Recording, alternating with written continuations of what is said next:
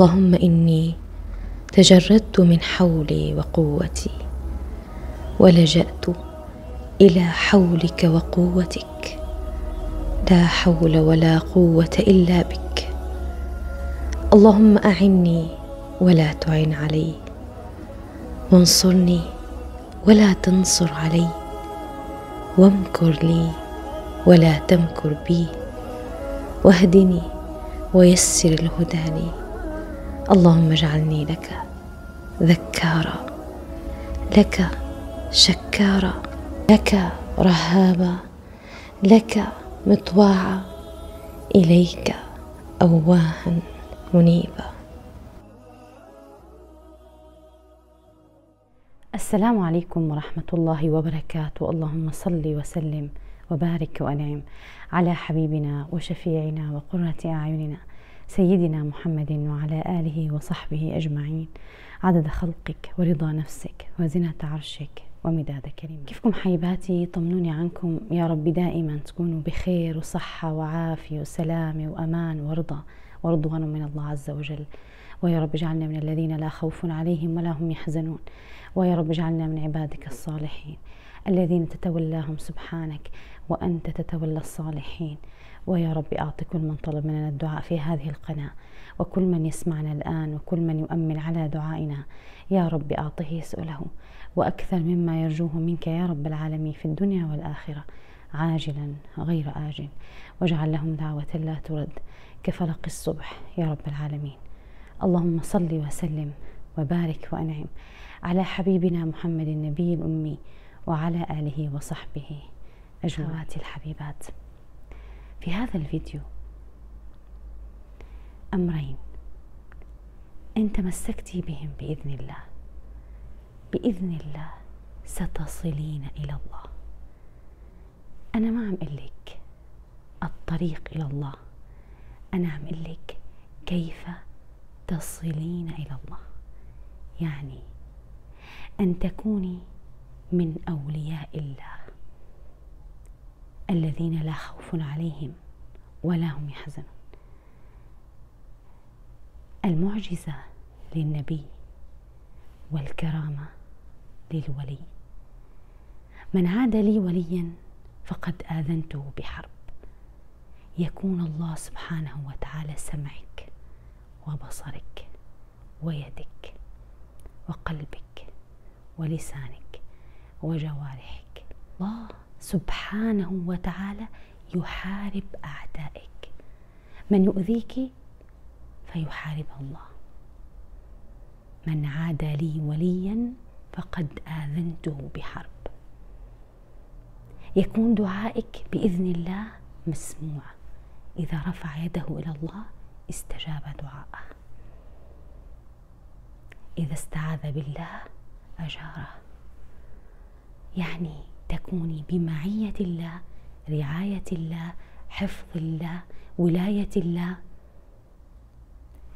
تكوني من الذين لا يحزنهم الفزع الأكبر. يعني بإذن الله لا خوف من ماضي ولا خوف من حاضر ولا خوف من مستقبل ولا حزن على ماضي وعلى مستقبل وعلى حاضر.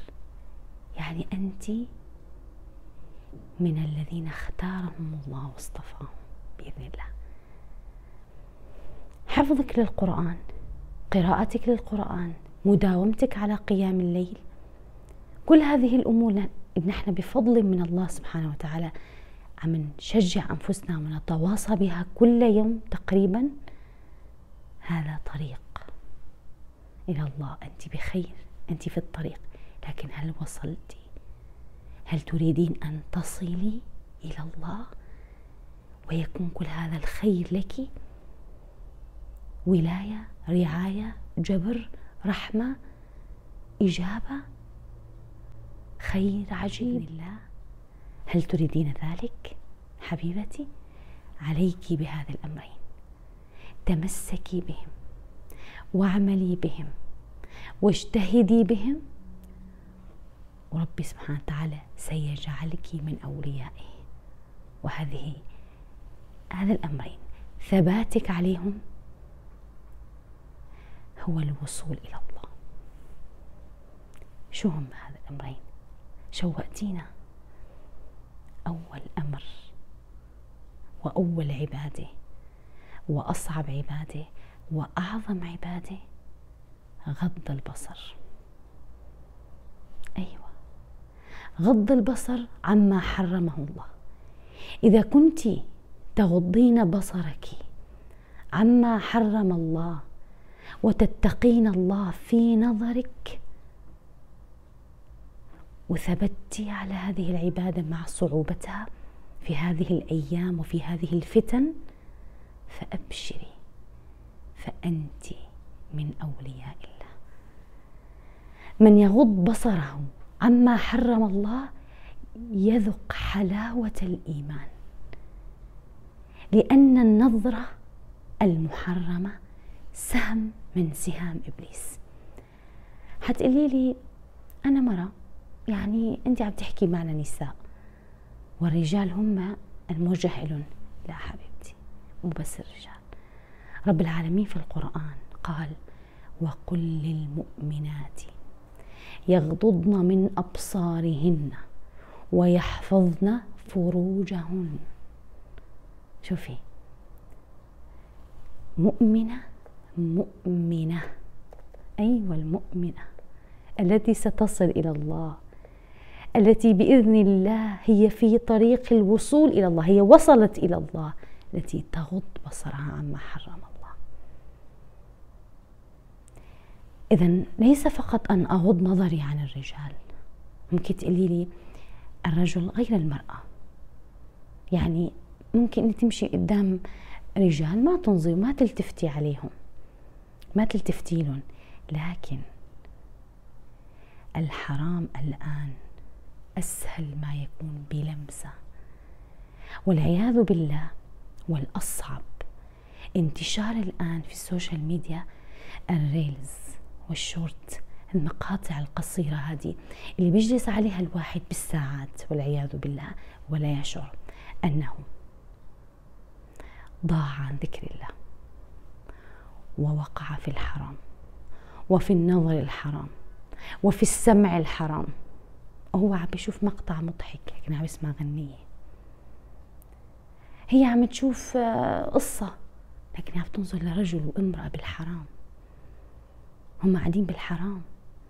هي عم تنظر إلى ما حرم الله دون تشعر بثواني يذهب الإيمان من قلبك. ثواني. يعني المقاطع الآن القصيرة تصل إلى أربعين أو ثلاثين ثانية. وأنا أخواتي مصنع مثلا عندي الشورتس ما بيسمح لي اليوتيوب أكثر من 59 ثانية. يعني شوفي حتى الدقيقة ما بقدر نزل فيديو. الشورتس اللي بتشوفوه منزله أنا المقاطع القصيرة هذه مقطع من 59 ثانية. كل ما يقصر المقطع كل ما بينتشر أكثر. شوفي شوفي أين وصل أين وصلت الفتنة. فإذا أنت تتغضي نظرك عما حرم الله. ربي سبحانه وتعالى يبدل في قلبك لذة الإيمان وحلاوة الإيمان. فتجدين الخشوع في صلاتك. وتجدين القرب من الله سبحانه وتعالى. أي وصلتي لأنك وصلتي فأنت في رعاية الله. والله من تغض نظرها عما حرم الله. مو مو فقط المسلسلات. الآن عم ننبهكم على شيء أعظم وأخطر. الآن يحصل. هي المقاطع القصيرة المنتشرة في كل وسائل التواصل الاجتماعي. تضعك في موضع خطير. تذهب بصيرتك وتذهب إيمانك من دون ما تشعري. يخرج الإيمان من قلبك بسماع بنظر. إذا غض البصر عما حرم الله. قدامك رجال ومرأة قاعدين بالحرام كيف تنظري لهم؟ قدامك مقطع امرأة عارية والعياذ بالله. حتقولي لي أنا مثلها. لا حبيبتي. عورة المرأة للمرأة من السرة إلى الركبة. يعني في منطقة مغلظة النظر إليها حرام. إذا أنت وتتنظري حتى لامرأة هي والعياذ بالله ملعونة متبرجة تظهر زينتها إلى عنوهن فإنهن ملعونات فأنت كأنك راضية بهذا المنظر فغض النظر يجعل في قلبك الإيمان ويثبت الإيمان وتصلين إلى الله بإذن الله. والله يا أخواتي روحي الآن وامتحني نفسك اللي هي عندها إدمان على المسلسلات وعندها إدمان على المناظر والعياذ بالله والأفلام وكل ما حرم الله في النظر. والآن سهل جدا. وهي عندها ما بتقدر يعني هي لو صلت لو قامت الليل لو ما كان لازم. هذا النور اللي انت بدك إياه في صلاتك وفي عبادتك وفي دعائك وفي بيتك وفي حياتك ومع زوجك ومع أولادك لا يجتمع مع ظلمة المعصية. لا يجتمع حبيبتي. العين تنظف من هذه النظر. ينور القلب. وهذا القلب موضع نظر الرب. ثاني أمر وهو متصل في الأول وكل كلامنا عن القلب. في الجسد مضغة. إذا صلحت صلح الجسد كله. وإذا فسدت فسد الجسد كله. ألا وهي القلب. صدق رسولنا الكريم أو كما قال رسولنا صلى الله عليه وسلم. إذا هذا القلب موضع نظر الرب. أنت بدك قلبك يكون متصل بالله بمعية الله طاهر نظيف. ابتعدي عن نظر الحرام. ثاني أمر وهو سلامة القلب. أيوة إلا من أتى الله بقلب سليم. أيوة سلامة القلب. إذا كان قلبي سليم فأنا وصلت إلى الله وكنت في رعاية الله بإذن الله وفي حفظ الله ومع الله ولله في أمري كله. حياتي كلها لله. ربي سبحانه وتعالى الله يكون سمعي وبصري ويدي. ورجلي كل حياتي كل جارحة من جوارحي. الله معي. كنت سمعه الذي يسمع به وبصره الذي يبصر به ويده التي يبطش بها ورجله التي يمشي عليها ولئن سألني لأعطينه. رفعت إيدي لله الله أعطاني. استعذ بالله أنا خايفة. أعطاني وأعاذني. رعاني وتولاني.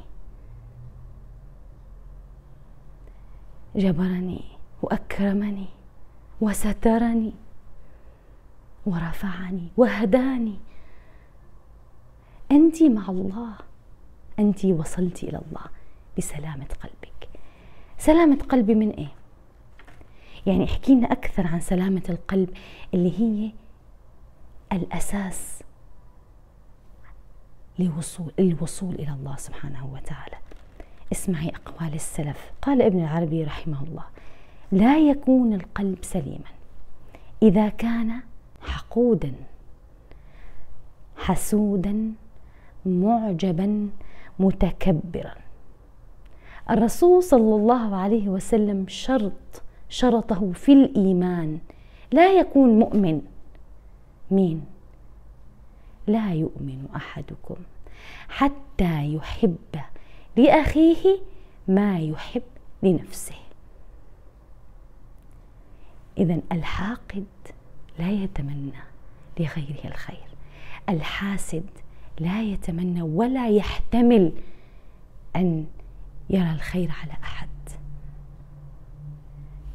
الحاسد الحاقد المعجب معجب متكبر. لا يستطيع لا يستطيع أن يكون مؤمن لأن الإيمان في القلب. هذا القلب هذه المضغة التي هي موضع نظر الرب. إذا كان حاقدا حاسدا معجبا متكبرا لا يكون مؤمن لأنه لا يحب لأخيه ما يحب لنفسه. الرسول صلى الله عليه وسلم كثير اهتم بقلبه وهو نبي. كان يقول لنا الصحابة لا تحكوا لي شيء معنى الحديث عن عن أصحابي. أحب أن ألقاهم وأنا سليم الصدر. حبيبي يا رسول الله اهتم بسلامة صدره حتى مع أصحابه. هذا من كمال الإيمان. من الأمور التي توصلك إلى الله. من أقوال السلف رحمهم الله سئل ابن سيرين رحمه الله ما القلب السليم؟ فقال الناصح لله في خلقه.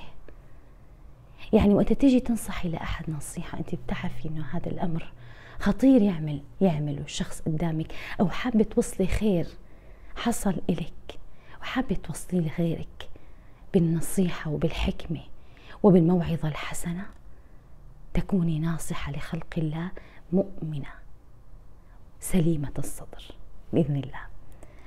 وقيل القلب الذي يحب للناس ما يحب لنفسه. هذه سلامة الصدر هذا القلب السليم هذا القلب النظيف هذا القلب الذي يلقى الله بخير وعلى خير سبحانه وتعالى. قد سلم جميع الناس من غشه وظلمه وأسلم لله قلبه ولسانه. وقال ابن تيمية رحمه الله القلب السليم المحمود هو الذي يريد الخير للشر يعني أنت وتتمني الخير للناس وتحبي الخير لغيرك. أنت مؤمنة. أنت وصلت إلى الله. كمل إيمانك بإذن الله. سلامة الصدر غض البصر. هدول الأمرين حافظي عليهم اثبتي عليهم. هم عبادات عظيمة وصعبة جدا لكن ثمرتها الوصول إلى الله. ثمرة هذه العبادات العظيمة تصلين إلى الله. صاحب القلب السليم صاحب العين الحافظة لحدود, لحدود الله. هدول الاثنين يقرؤون القرآن يعملون به. يتقون الله في كل أمر من أمور حياتهم. يحبون للناس ما يحبون لأنفسهم. قلوب سليمة طاهرة. عيون كلها بصيرة. وخير. ربي سبحانه وتعالى بيحفظهم وبيتولاهم وبيرعاهم وبيجبرهم وبيسعدهم وبيبارك لهم وبينفع فيهم وبينفع إلهم. يكون الخير لهم كثير كثير أخواتي. اسعي حبيبتي أن تصلي إلى الله بهذه العبادتين. بإذن الله تعالى. جميعا أخواتي والله يسعد قلوبكم ويجبركم ويحفظكم ويسعدكم ويجعلنا منهم يا رب العالمين. يجعلنا من أولياء الله الذين لا خوف عليهم ولا هم يحزنون يا رب العالمين. ويا رب اجعلنا من الذين يستمعون القول فيتبعون أحسنه. ودمتم أخواتي في رعاية الله وحفظه. لا تنسوا مشاركة هذا الفيديو مع من تحبون. عسى الله أن يجعل لكم من كل هم فرجا ومن كل ضيق مخرجا. ويرزقكم من حيث لا تحتسبون. ويعطيكم حتى يرضيكم. ويجبركم جبرا تعجب له أهل السماوات والأرض. يا رب العالمين. أحبكم في الله أخواتي وأتمنى لكم الخير دائما. لا تنسوني من دعائكم وأنتم دائما في دعائي. سبحانك اللهم وبحمدك أشهد أن لا إله إلا أنت أستغفرك وأتوب إليك. السلام عليكم.